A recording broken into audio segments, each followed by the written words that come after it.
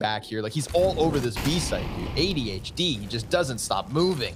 But it's so good. It's so constantly dishing out damage. Look what's left for G2.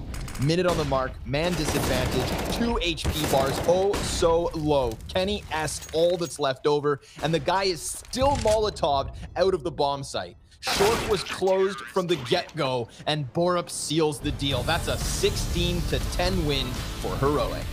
Feels like they didn't even stand a chance, even though